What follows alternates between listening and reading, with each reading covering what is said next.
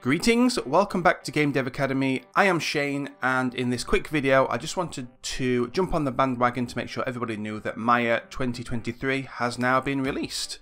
So I've just got it installed. This is the new splash screen and you can see we've got a what's new section which makes my job of telling you what's new a heck of a lot easier doesn't it? So we'll just go through some of these things and then we'll take a look at them. So if we start up with some of the stuff that I don't use, so the USD plugin is not something I really use, and I haven't used a lot of uh, Bifrost, but we've got updates to those. The blue pencil tool looks really cool, which allows you to do things like, uh, it's good for blocking in animation, you can also annotate your scenes.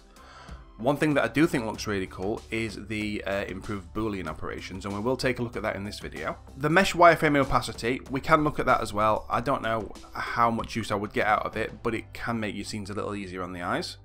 They've continued to further improve the animation performance with things like further improving the cache playback, stuff like that. The retopology tools have got better as well, which I think are really important. If you're going to be using booleans, I think retopology, especially for inexperienced users, retopology after you've used booleans is a really good idea. They've continued to improve on the deformers, they've improved modeling performance, we've got some sweep mesh operations, not something that I really use, but they're there for those of you that do.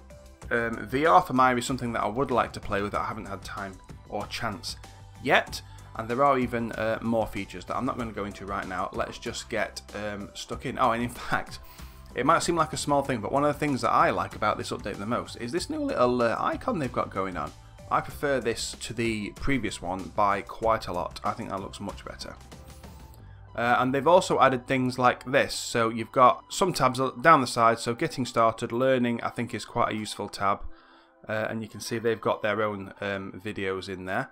I personally would recommend putting in some Game Dev Academy ones because they are pretty good. But you know, they won't be told. Anyways, let's uh, create a new scene.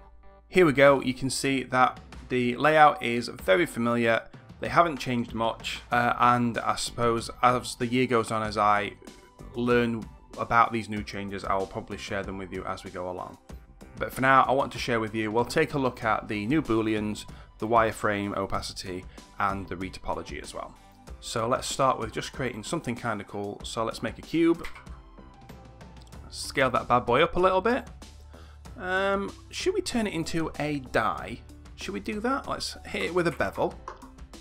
Let's have some fun with it. If we're doing it anyway, we might as well. We'll go um, five segments there. We'll go 0.2 there. Mm, 0.15. And then what we want to do is put in some of these numbers if you get a die. And I'm going to do that with a sphere. Like so. And we're just going to do that with it. Now, if we place this into the mesh, about there, that's going to be 1 on the die for us. And back in the old day, you'd have to select um, the mesh that you want to keep, shift select the mesh that you want to get rid of, and use booleans. But if we now go to mesh booleans, you can see there are a lot more options. Oh, hang on, I've lost it. Mesh booleans, there are a lot more options than there used to be. And now it doesn't matter which order you select them in because you can do A minus B or B minus A. And that'll be to do with the order that you selected them in. So if we do that, we'll do A minus B. And straight away, we've got our boolean. So now we've got um, our shape cut in. But what's different now is that that original mesh hasn't gone. And what I really like about this is that it's still live. So if I decide that the position's not right and I want to move it over here, well I can, and it's still being cut in. So if I just deselect that, you can see that that's now being cut in. And we'll undo that because I did want it in the center. And we can do some other cool things as well. So it's this P sphere that's being cut out. So we can change it and go the other way around. And actually we can have the cube being cut out of the sphere. Not that I want to do that, but it's an option.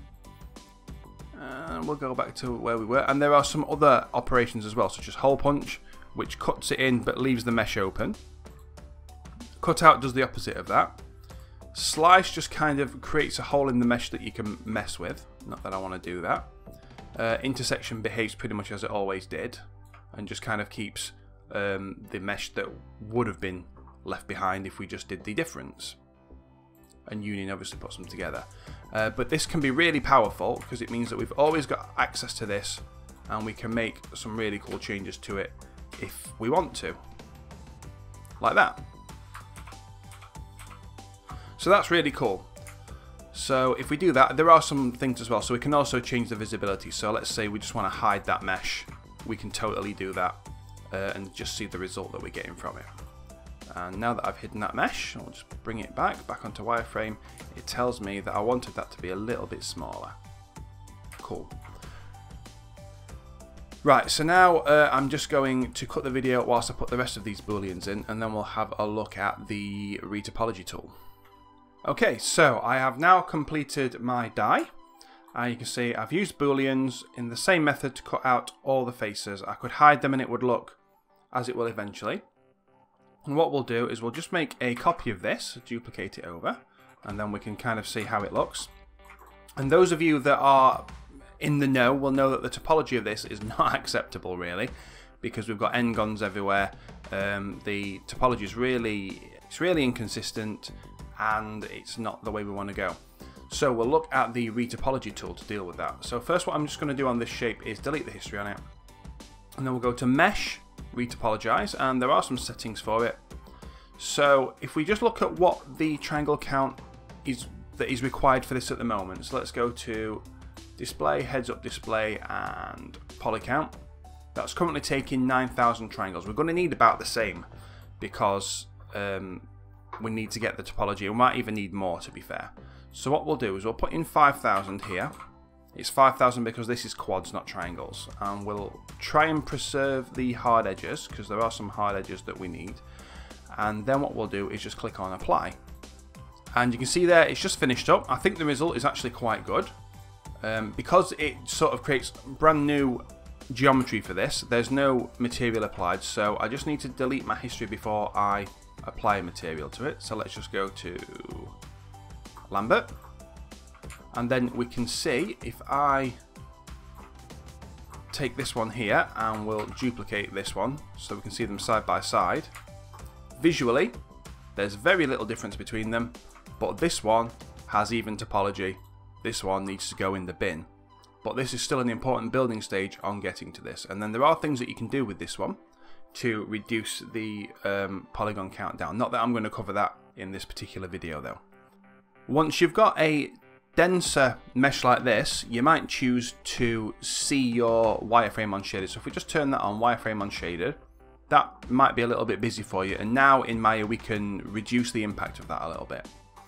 So if we go to the shape node and go to object display, and we can find the drawing override section and enable overrides, like so.